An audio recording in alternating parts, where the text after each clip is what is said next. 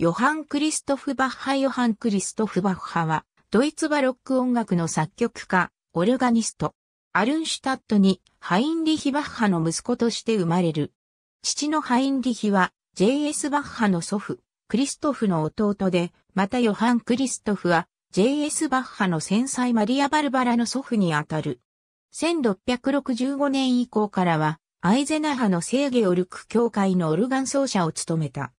ヨハン・クリストフは当時作曲家として高い名声を得ており、J.S. バッハ以前の世代では、バッハ一族の中で最も高い評価を受けていた人物であった。J.S. バッハも、ヨハン・クリストフの作品を高く評価し、意欲的に研究した。J.S. バッハ作曲とされるいくつかの作品には、おそらく、ヨハン・クリストフの新作が混じっている。オルガン曲や合唱曲を幅広く作曲した。